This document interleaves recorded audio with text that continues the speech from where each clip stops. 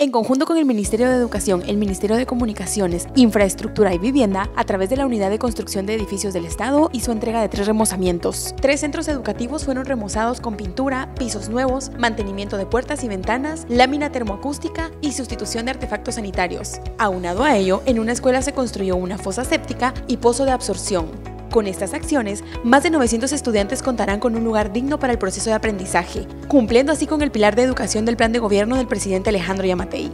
Diario de Centroamérica, las buenas noticias también se cuentan.